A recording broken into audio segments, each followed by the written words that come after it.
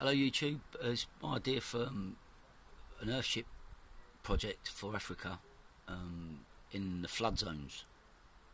It's basically, uh, going to call it Earthship Island. It's basically um, a raised section of desert. We dig up any large rock um, and create a protective wall on a raised on the island right? If you call it an island, it's raised up. It's in the middle of a, of a landmass, but in a flood zone. So, create a community um, which is safe from the flooding. Um, all from Earthships. This is the uh, just using it as an example of what an Earthship could be like. They've all got um, pond liners to collect the rainwater under the floors inside the house.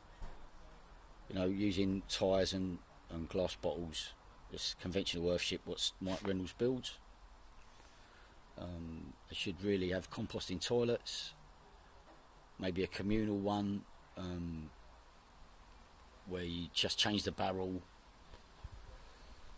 and um, use it for growing. I would also have a solar panel in the centre or a wind turbine some solar panels or wind turbine or a few trees. And talking to trees where any amount you dig away from the floor you could create a moat a dry moat um, and fill it with fruit trees going all the way around. And any house or the communal um, toilet the wastewater would go down and feed all the fruit trees providing some food um, for parts of the year and possibly a source of income for these people. Um, you know, it wouldn't take very much to do this. The if anyone's got any ideas on uh, joining these rocks, they could be drilled or um, and resin together and concreted just to create a, a flood wall. Um, you know, so you're walking along the desert and you see this. Think, what is that? It's an island, but it's just basically in a flood zone. It's it's um, obviously a lot safer for them to be up off of um, the typical, just up, up out of the water.